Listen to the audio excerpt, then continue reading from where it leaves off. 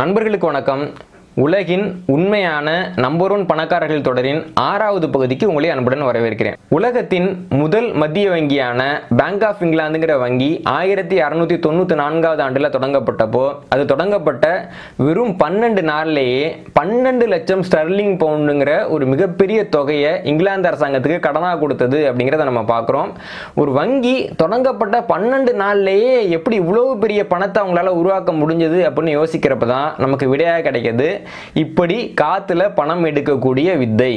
இந்த வித்தையை நம்ம புரிஞ்சுக்கணும் அப்படின்னா முதல்ல பணம்னா என்னன்னு புரிஞ்சுக்கணும். இந்த பணத்தாள்களில் ரெண்டு விதங்கள் இருக்கு. ஒன்று வந்து காகித பணம் இன்னொன்று வந்து வங்கித்தாள். இந்த காகித பணத்துக்கும் வங்கித்தாளுக்கும் என்ன வித்தியாசம்னா நம்ம புரிஞ்சுக்கணும். தொடரோட இந்த பகுதியில் நாம காகித பணத்தோட வரலாறை முழுசா பார்த்துட்டு அடுத்த பகுதியிலேருந்து வங்கித்தாள்னா என்ன அப்படின்றத பார்க்க போறோம்.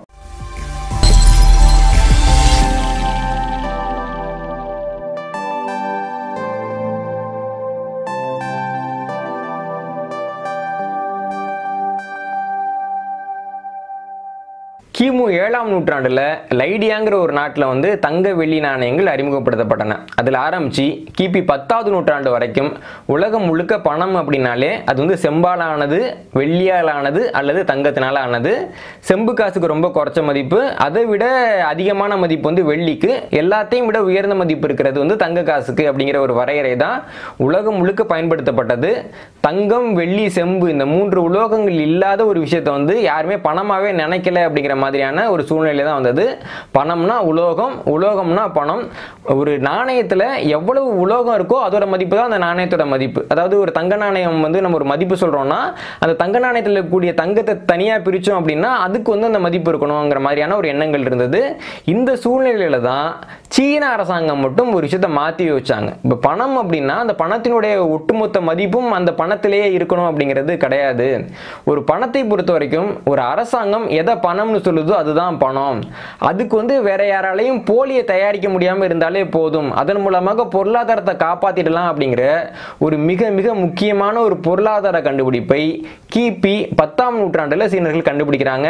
அதன் விளைவா சீனர்கள் என்ன பண்றாங்க அப்படின்னா சாப்ஸ்டிக்னு சொல்லக்கூடிய மர குச்சி இருக்கும்ல அதை பணமா பயன்படுத்தினாங்க. மூங்கில் சில்லுகள் இருக்கும்ல மூங்கில் வந்து வெட்டி சின்ன சின்ன துண்டாக்கி அதை பணமா பயன்படுத்தினாங்க. இந்த மாதிரி அவங்க உருவாக்கின ஒரு கண்டுபிடிப்பு தான் காகிதத்தை பணமாக பயன்படுத்தக்கூடியது அப்படிங்கிறது. இன்னும் சொல்லப்போனால் காகிதம்ங்கிற ஒரு விஷயமே சீனா கண்டுபிடிச்சது தான் அவங்க கண்டுபிடிச்ச காகிதத்தை வச்சு ஒரு உயர்தரமான பணத்தால் வந்து சீனாவில் இருக்கக்கூடிய பேரரசர்கள் வந்து உருவாக்குனாங்க. இதுதான் உலகத்தில் முதன் முதலாக வந்து ஒரு காகிதம் பணமாக புழங்கிய நிகழ்வு அப்படின்னு நம்ம சொல்லலாம். காகிதத்தை பணமாக பயன்படுத்தலாம் அப்படிங்கிற இந்த நிகழ்வு வந்து போகிற போக்கில் நடந்தது கிடையாது. நம்ம வந்து காகிதத்தை பணமாக பயன்படுத்தணும் அப்படின்னா போலிகள் நிறைய உருவாகும் அப்படிங்கிறதும் சீனர்களுக்கு தெரிஞ்சிருந்தது. அதனால் அவங்க என்ன பண்ணாங்கன்னா மிக மிக கடுமையான சட்டங்களை ஏற்றினாங்க யாராவது போலியாக இந்த பணத்தை தயாரித்தால் அவர்களுக்கு மரண தண்டனை. யாராவது வந்து போலியான பணம்னு தெரிஞ்சே அதை பயன்படுத்தினா அவங்களுக்கு மரண தண்டனை. யார்கிட்டயாவது வந்து நம்ம வந்து இந்த பணத்தை கொடுக்குறோம். ஐயோ இது வந்து சாதாரண காகிதம். இதுக்கு நான் பொருள் தர மாட்டேன். எனக்கு பழைய மாதிரியே நீ தங்கத்தை கொண்டு வா அப்படின்னு ஒரு நபர் கேட்டாங்கன்னா அவருக்கும் மரண தண்டனை அப்படின்னு சீனாவில் சட்டம் ஏற்றினாங்க இந்த சட்டத்தின் மூலமாகத்தான் சீனாவினுடைய காகித பணம்ங்கிறது பாதுகாக்கப்பட்டது. இதுக்கும் மேலே சீனாவினுடைய காகித பணத்துக்குன்னு அவங்க தனியாக வந்து காகித ஆலையும் அச்சகமும் வச்சுருந்தாங்க. அதனால் சாமானிய மக்கள் போலியாக பணம் தயாரித்தா கூட அதனுடைய தரம் வந்து அதை காட்டி கொடுத்துரும் அப்படிங்கிற ஒரு முறையை வந்து அவங்க கண்டுபிடிச்சாங்க. இன்னைக்கு வரைக்கும் உலகத்தில் இருக்கக்கூடிய மிக பெரும்பாலான நாடுகள் பார்த்தீங்கன்னா அந்த சீனாவினுடைய முறையை தான் வந்து பின்பற்றுறாங்க.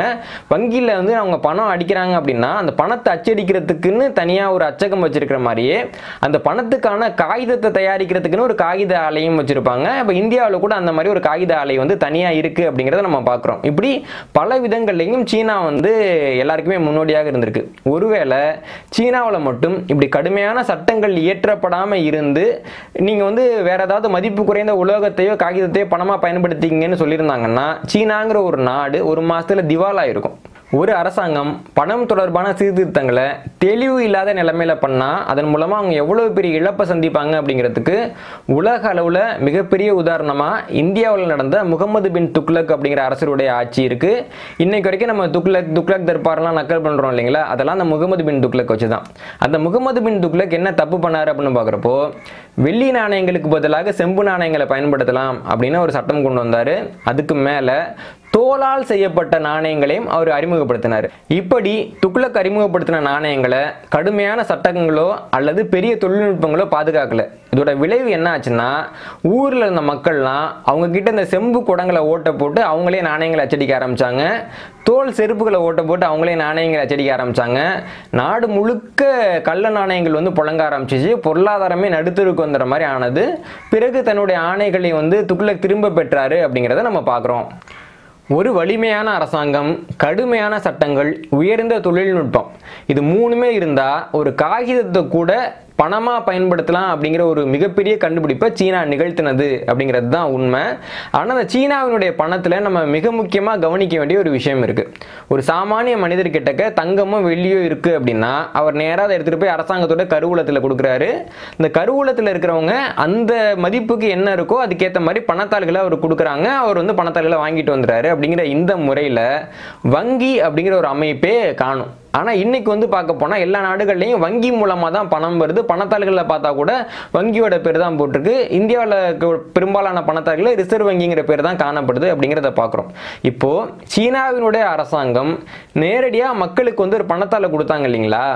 அந்த பணத்தாளுக்கு தான் காகித பணம் அப்படின்னு பேர். ஏன்னா இதுக்கு முன்னாடி இருந்த பணம் வந்து தங்க பணமாகவோ வெள்ளி பணமாகவோ செம்பு பணமாகவோ இருந்தது. அதெல்லாம் அரசாங்கம் தான் வெளியிட்டது. இப்போது அதுக்கு பதிலாக காகிதத்தில் ஒரு பணத்தை வந்து அதே அரசாங்கம் வெளியில் விட்டுருக்கு. அதனால் அதுக்கு பேர் காகித பணம் அப்படிங்கிறது தான் ஆனால் அதே சமயம் இன்னைக்கு இந்தியாவில் புழங்கிக்கிட்டு இருக்க ரெண்டு ரூபாயில் இருந்து ரெண்டாயிரம் ரூபாய் வரையிலான நோட்டுகள்லாம் பார்க்க போனால் இது எதுவுமே காகித பணம் கிடையாது. என்ன காரணம் அப்படின்னா இந்திய அரசாங்கம் இதை நேரடியாக வெளியிடுறதில்லை. அதற்கு மாறாக ரிசர்வ் பேங்க் அப்படிங்கிற ஒரு வங்கி தான் வெளியிடுறாங்க. அப்போது வங்கி மூலமாக வெளியிடக்கூடிய பணத்துக்கு என்ன பேர் அப்படின்னு பார்க்க போனால் அதற்கு வங்கித்தாள் பேங்க் நோட் அப்படிங்கிறது தான் பெயராக இருக்குது. அதனால் காகித பணம்ங்கிறது வேற பேங்க் நோட்டுங்கிறது வேற. இந்தியாவில் இந்த மாதிரி காகித பணமே வெளியில் வரலையா அப்படின்னு கேட்க போனால் ஒரு ரூபாய் பணத்தால் மட்டும் காகித பணம். ஏன்னா இந்த ஒரு ரூபாய் பணத்தால் தான் இந்திய அரசாங்கம் நேரடியாக வெளியிடுறாங்க. இதில் வந்து ரிசர்வ் பேங்க் ஆஃப் இந்தியாங்கிற ஒரு விஷயம் இருக்காது. அதே மாதிரி இதில் வந்து ரிசர்வ் வங்கி ஆளுநர் கையெழுத்து போட மாட்டார். இந்திய அரசின் நிதித்துறை செயலர் தான் கையெழுத்து போடுவார். இதை பற்றி இன்னும் விரிவாக தெரிஞ்சுக்கணும் அப்படின்னு ஆசைப்பட்றவங்க இந்த ஒரு ரூபாய் நோட்டு பற்றி நான் ஏற்கனவே ஒரு காணொலி வெளியிட்டிருக்கேன். அந்த காணொலியையும் பார்த்துட்டீங்க அப்படின்னா இது இன்னும் தெளிவாக புரியும். இப்போ வந்து சீனாவில் காகித பணம்ங்கிற ஒன்றை கண்டுபிடிச்சிட்டாங்க. கண்டுபிடிச்ச உடனேயே மற்ற நாடுகளும் இந்த கண்டுபிடிப்பை பயன்படுத்தினாங்களா அப்படின்னு பார்க்க போனால் பெரும்பாலான நாடுகளுக்கு சீனாவில் வந்து காகிதம் பணமாக புழங்குது அப்படிங்கிறது பதிமூணாம் நூற்றாண்டு வரைக்கும் தெரியாது. என்ன காரணம் அப்படின்னு பார்க்க போனால் சீனாவோட காகித பணம் உள்நாட்டு வர்த்தகத்தில் தான் புழங்கினதே தவிர அந்நிய செலாவணியில் புழங்கலை. அதாவது நாடுகளுக்கு இடைப்பட்ட வர்த்தகத்தை பொறுத்த வரைக்கும் அவங்க தங்கம் வெள்ளி கொடுத்து தான் முன்ன மாதிரியே வியாபாரம் பண்ணாங்க. ஆனால் நாட்டுக்கு உள்ளே நடக்கக்கூடிய வியாபாரத்தை பொறுத்த வரைக்கும் அவங்க வந்து காகித பணங்களை வந்து பயன்படுத்தினாங்க அப்படிங்கிறத பார்க்குறோம். இதனால் சீனாவில் இப்படி ஒரு விஷயம் நடக்குதுங்கிற ஒரு செய்தியை வந்து வெளி உலகத்துக்கு வெகு காலம் தெரியாமல் இருந்தது. இந்த சூழ்நிலையில் மங்கோலிய பேரரசரான செங்கிஸ்கான் வந்து சீனா மேலே படையெடுக்கிறாரு. அவர் வந்து அந்த படையெடுப்பின் மூலமாகத்தான் சீனாவில் இருக்கக்கூடிய அந்த காகித பணம் பற்றி தெரிஞ்சுக்கிறாரு. அது மிகப்பெரிய பொருளாதார கண்டுபிடிப்பு அப்படின்னு அவருக்கு புரியுது. தெரிஞ்ச உடனே அவர் மங்கோலியாவுக்கு போயிட்டு என்ன சொல்கிறாருன்னா மக்கள்லாம் வந்து அவங்க கிட்ட இருக்க தங்கம் வெள்ளியெல்லாம் அரசாங்கத்தினுடைய கருவூலத்தில் கொடுத்துருங்க. உங்கள் எல்லாருக்குமே வந்து காகித பணம் கொடுப்போம். காகித பணத்தை யாராவது தவறாக அச்சடிச்சாங்க பயன்படுத்தினாங்க அப்படின்னா உங்களுக்கு மரண தண்டனைன்னு சீனா எந்த வழிமுறையை பயன்படுத்துச்சோ அதே வழிமுறையை செங்கிஸ்கானும் பயன்படுத்தினார் அப்படிங்கிறத பார்க்குறோம் இப்போது செங்கிஸ்கானுடைய ஆட்சி காலத்தில் மங்கோலியாவுக்கு வந்து மார்க்கோ போலோ வந்து வர்றாரு. அப்படி வரக்கூடிய மார்க்கோ போலோ செங்கிஸ்கான் மூலமாகத்தான் அந்த பணம்ங்கிற முறையை தெரிஞ்சுக்கிறாரு. ஆயிரத்தி முன்னூற்று நான்காவது ஆண்டில் மார்க்கோ போலோ வந்து செங்கிஸ்கான் செங்கிஸ்கானுடைய பணத்தாள்களை பற்றி மிக விரிவாக தன்னுடைய நூல்களில் எழுத ஆரம்பிக்கிறார். அந்த குறிப்பு என்ன சொல்லுதுன்னா பேரரசர் கானினுடைய மக்கள் எல்லாமே இந்த காகிதத்தை பணமாக வாங்கிக்கிறாங்க. பின்னாடி தங்களுக்கு தேவைன்னு இதே காகிதத்தை கொடுத்தா அவங்களுக்கு தேவையான பொருள் கிடைக்குங்கிற ஒரு நம்பிக்கை அவங்களுக்கு இருந்தது. அதன் மூலமாக இந்த பொருளாதார முறை வந்து நிலைநாட்டப்பட்டது அப்படிங்கிற விஷயத்தை அவர் ரொம்ப விரிவாக எழுதியிருக்கிறாரு. இதை பார்த்த பிறகுதான் பல நாடுகளுக்கும் சீனாவில் வந்து பணம்ங்கிற ஒன்று தோன்றுச்சு. மங்கோலியாவில் அந்த பணம்ங்கிற முறை வந்து வளர்ந்துருக்கு அப்படிங்கிற விஷயங்கள்லாம் தெரிய வந்தது. ஆனாலும் கூட ஐரோப்பிய நாடுகளில் எந்த நாடுமே வந்து தங்கம் வெள்ளியை தவிர வேறு எதையுமே பணமாக எடுத்துக்கணும் அப்படிங்கிற ஒரு யோசனையிலே இல்லை. இந்த சூழ்நிலையில் அரேபியாங்கிற நாடும் மூணாவதாக பணத்தாள்களை பயன்படுத்த ஆரம்பிச்சிச்சு. வரலாறு எடுத்து பார்க்க போனோம்னா ஆசிய நாடுகளை விடவும் குறுகிய மனப்பான்மை கொண்டவர்களாகத்தான் ஐரோப்பிய நாடுகளை சேர்ந்தவங்க வந்து வெகு காலமாக இருந்திருக்கிறாங்க. அதுக்கான ஒரு மிகப்பெரிய உதாரணமாக இந்த காகித பணம் அப்படிங்கிற ஒரு விஷயத்தை பார்க்கலாம்.